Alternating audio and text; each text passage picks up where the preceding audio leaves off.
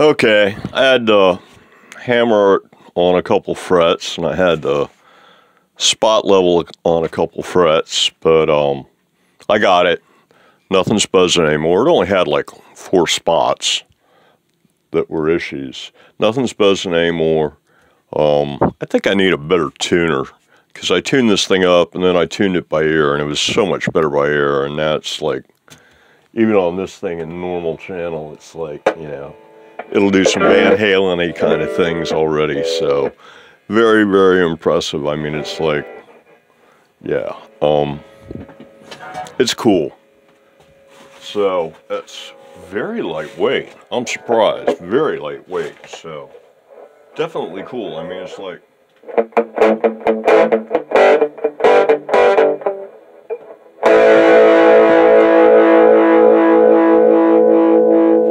It's out of tune again.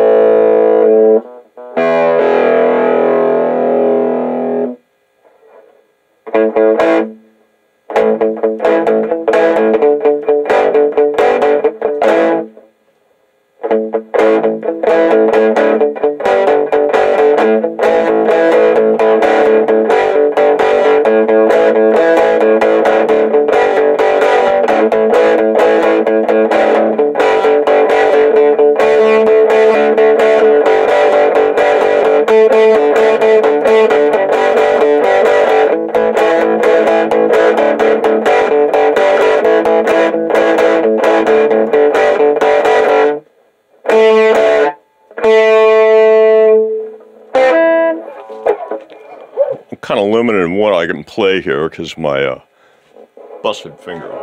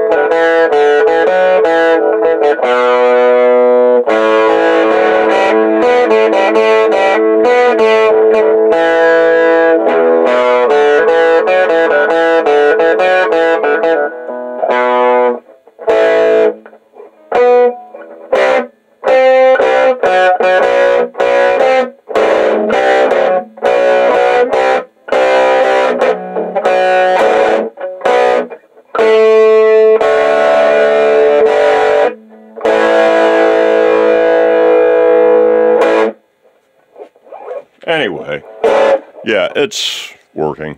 So, um,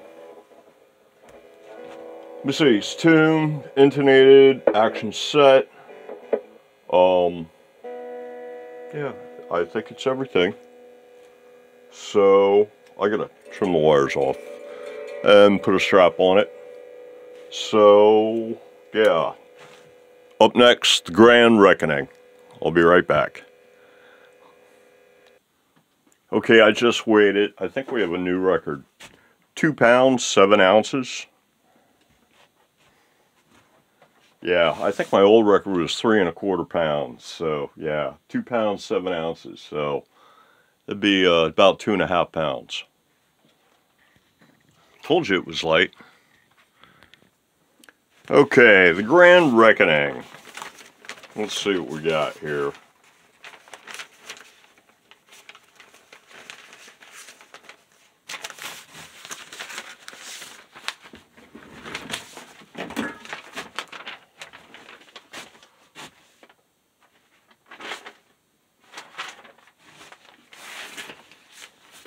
Okay. One two by four, eight foot long, spruce uh, from Lowe's for three dollars and forty eight cents. That's the wood. all the wood. Um, what else we got? Ah, the pickup. Uh, single coil. It's rated at 5.6K. And uh, price is $4.06.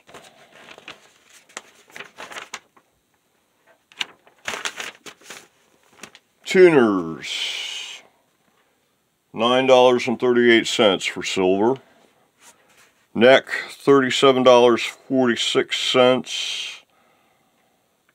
The jack, $1.64 for silver. Saddles, $6.69. Strap buttons, $1.08. And that brings you up to $60.31 plus the wood and the neck screws and the swing bar screws and all the supplies used. And the wood was, what did I say, 348 Yep, 348 So that bring you up to 63 almost $64, including the wood. And then all you need are supplies and four wood screws. Now, as for the supplies, I'm not really going to price them all out, but um, there were the four wood screws. There was uh, the spray paint that I used on the screws and on the shim for the bridge. And uh, the paint was a dollar a can at Lowe's. Keda wood dye, uh, RIT dye would be a low-cost substitute that's re readily available. Um, depending on what color you wanted to stain it or dye it. You know, if you did it in a natural, you wouldn't have to pay anything for dye. Uh, you could other, use other types of dyes. You know, I've heard of like using coffee or tea as a, as a dye. There's also that thing where you can like take vinegar or something and and and uh, and um, steel wool and and make your own like dye. But anyway, um, acrylic, two cans of acrylic. That's actually not going to be as cheap as like a, a brush on poly. Uh, sandpaper, probably get away with one variety pack. You might actually want to go with like. Uh, with uh, maybe like I've I can find variety packs on eBay that include stuff at at finer grits like 2000 which you wouldn't necessarily find at like a, a Lowe's or a Home Depot. You might find a nice variety pack in like the automotive paint section of like uh, AutoZone or Advanced Auto Parts, someplace like that. Or uh, even Walmart. Um, let's see, I used uh, masking tape and polishing compound and Windex or naphtha. Windex is a little cheaper. Used uh, toilet tissue and a couple different Sharpies to do touch-up work. Uh, used CA glue and maybe a foot's worth of shielded cabling like I said, for shielding cabling, you can always uh, cannibalize the, the, the wire off a keyboard or something like that. The cable off a keyboard or a mouse from a computer, and the, that's shielded cabling there. Um, this actual pickup that I use is rated at 6.18K which is just a little bit hotter than the one listed on eBay for $4.06. And this is also rated at 1.92 Henrys. And you heard what it sounds like through a 3 watt amp, so you get the idea. I mean, it works, so. Um, other supplies use the little small brass nails, You can pick these up. Like I said, you can get like a box of a hundred of them for a couple bucks. And uh, electrical tape is used in order to uh, tape up the connection at the uh, pickup side, pickup end. And of course, a set of strings, you know, whatever kind of strings you like. I'm running Ernie Ball 8s on these. I use those on all my builds, so. And uh, a strap.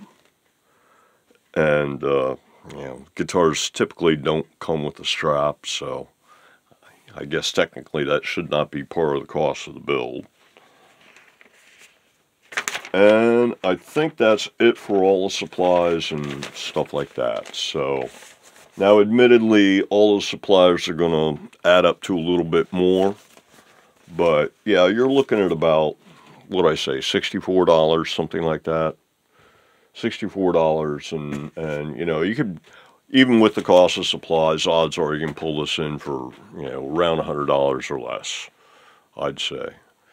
And, you know, if you're doing this as a hobby or something like that, then you're going to have things like, or if you're in general just like a woodworker or something like that, a lot of these things you're going to have around. You're going to have the glues and, and the dyes and things like that around.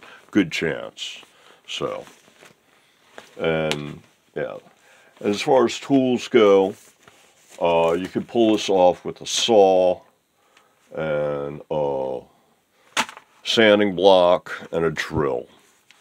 And I think that was it in the more, in the way of like more sophisticated. Oh, and a soldering iron, obviously, you'd need.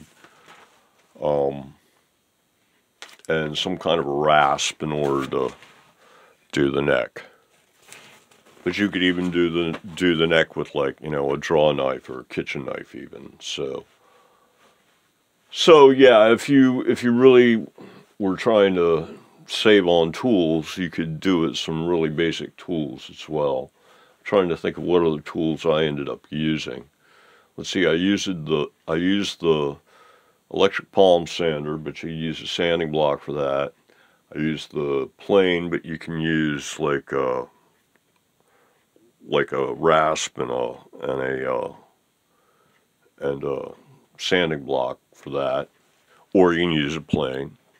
I actually was digging through my seldom used toolbox today and and found that I do have a Japanese draw plane. I probably should have been using that instead of the power plane in order to do this thing. And uh, let's see, um, yeah, a soldering iron and a drill. And that's pretty much it. Um, towards the end there, I did need, I needed a, I needed a notch straight edge in order to set the neck. And I did use a fret rocker to check the frets. And I used uh, a crowning file and a leveling beam. Because, yeah, see, I ended up leveling the frets, so I needed pretty much more or less all the tools necessary to do a fret leveling and crown and stuff like that. The only thing I didn't do is polish, so... So, yeah, there I, I wasn't able to get around any any of those kind of tools, really, so... So, yeah, no real savings there. If, if you don't have those basic tools, then you would probably need to get them. But you see, all those are very cheap. That leveling beam that I used and the, and the half-round crowning file and um, let's see, what else did I use? Used leveling beam, I used the crowning file, I used a little bit of sandpaper and uh, I think that was about it on the frets. I might have done a little bit of a little bit of dressing with just a regular fret dressing in fret end dressing file. But that was about it. And you can get, you know, you can get a beam and, and, and, uh, and you can probably find a package deal where you get a beam and, and both of those types of files, the end dressing file and the crowning file, all three for like $20, $30, something like that probably. I wouldn't be surprised because they do have packages out there like that. You can get like a you can get like a half round crowning file and a fret rocker and fret guards and a couple other little miscellaneous tools for like 20 bucks or something like that. So yeah, it's a good way to it's a good way to get one or two or three tools that you need all at once and then you know a couple extras that you don't necessarily need or you might already have or whatever but it, it turns out that you can you can get like two or three tools for the price of like one tool when you buy them like you know one of those little kits so that's a good way to save on the the basic fret working type tools and I think that's about all I've got in the way of like suggestions of like how to keep the budget down on a build like this. So, so yeah, not a, it can be done with not a whole lot of fancy tools. You know, you don't need like thickness planers and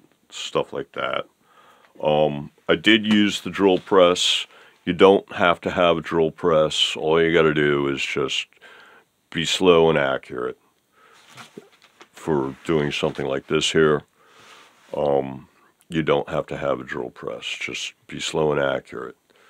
Or what you can do is uh, is take one of those little uh, bubble levels, one of these kind of bubble levels that you can pick up pretty cheap, and just stick it on the end of your drill, and that'll keep you level.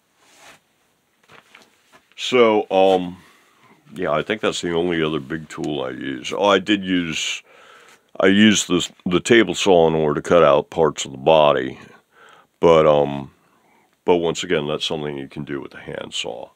so or a coping saw, whichever way, a saw of some size. So, yeah, this is a build that I'd say you know even with supplies you can pull this off for easily under under a hundred dollars, given that the basic parts are only about sixty five. So, so Call it 65 plus supplies. And uh, the big surprise is the weight. I'm really, really surprised. But then again, I mean, it's like, it's not locking tuners. It's got the, the this type of bridge on it that's a very lightweight bridge. Basically, all you have is the weight of the saddles. The whole thing's made of pine, which also is going to cut down the weight. You know, this whole everything except for the neck probably weighs as much as just a single Bubinga body does for like an X13, just the, just the Bubinga alone, cut out to the shape of the body with no hardware or bar or anything in, or neck installed, so yeah. But anyway, um, I think that's going to do it for this build, so I think we'll call it a success. And yeah, was there anything experimental? Oh, the only thing experimental was was trying a four x two, and it saved what maybe an inch off the length of the guitar. So no great no great savings there on size, and uh, yeah, so you might as well put them all over on this side, and uh, that way you're sure that they'll never get bumped by your leg or anything like that. So. Now, one thing I did notice is that, and this is something endemic to Fender saddles, is that when you're resting your hand right here for semi-palm muting, is that these little screws tend to stab you if they're sticking up high. So maybe shorter screws are called for for this particular setup. Yeah, I've, I've heard of people putting in shorter or longer screws depending on what they need. I've actually heard of people putting in shorter screws so that they don't stab you. So, but anyway, I'm rambling now. I'm going to shut up, and I think that'll do it for this episode. So, until the next one. Yeah, what is next? Um, until the parts come in for the Flying V, I guess I'm working on guitars 7 and 8. So, see everybody in the next one. Until then. Everybody, have a good one.